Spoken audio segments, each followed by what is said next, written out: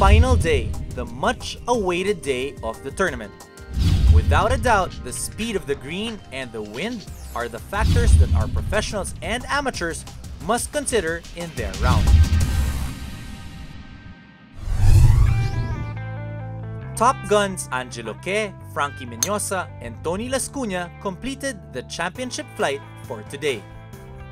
Marvin Dumandan, Juvik Pagunsan, and Omar Dunca tailing the leading flight. Title holder Elmer Salvador, Benji Magada, and Orlan Sumkad swung their way on to make it to the top.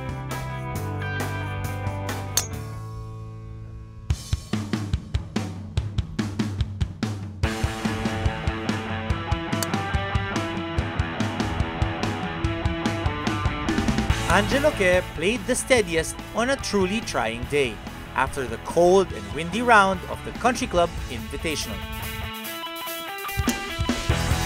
Howling blast of air that was almost hurricane-like that filled over most of the talented field.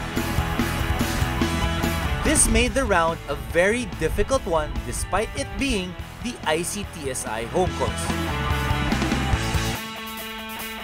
Dumandan looming as a title contender churned out a 71 after mixing one birdie and three bogeys to stay just one shot away from Angelo Que. Pagunsan pursued third place with a 73 with two birdies and three bogeys.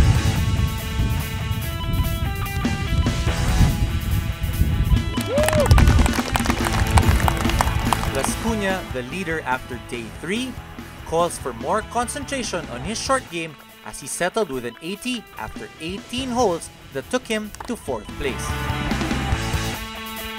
The legendary Frankie Minoza, who is priming up for his first tournament in the United States Champions Tour in two weeks, shot an 82.